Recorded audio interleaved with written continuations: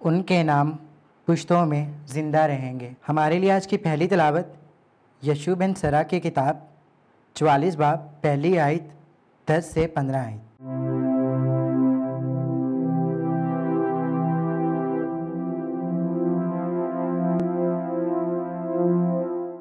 आओ, हम पुश्त पुश्त के मुताबिक इन दीनदार अशकास यानी अपने अजदाद की तारीफ़ करें।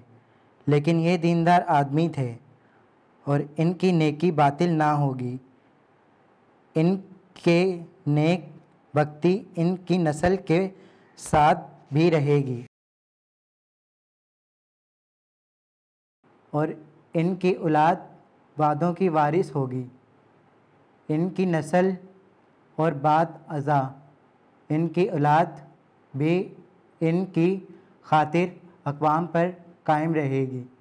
इनकी नस्ल अबद तक हमेशा रहेगी और इनकी इज़्ज़त ना मिटेगी। इनके जिसम सलामती से दफन किए गए हैं और इनके नाम पुश्तों के आखिर तक ज़िंदा रहेंगे। उम्मतें इनकी दानिश का ज़िक्र करती रहेंगी और जमायत इनकी तारीफ़ करती रहेगी।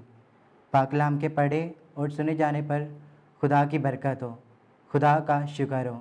जमायती जवाब खुदावन खुदा, इसके बाप दाऊद का तख्त उसे देगा। खुदावन ने दाऊद से कसम खाकर एक मुस्तहम वादा किया है, जिससे वो फिरेगा नहीं, कि मैं तेरे सुलभ की औलाद में से तेरे तख्त पर बिठाऊँगा। जमायती जवाब, खुदावंद खुदा उसके बाप दाऊद का तख्त उसे देगा, क्योंकि खुदावन ने सयून को चुना है।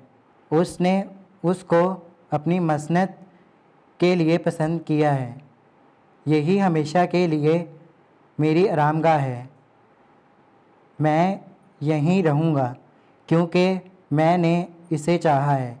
जमायती जवाब खुदावंद खुदा, उसके बाप दाऊद का तख्त उसे देगा। वहीं मैं दाऊद के लिए एक सिंह पैदा करूँगा। अपने ममसूम के लिए एक चिराग तैयार करूँगा।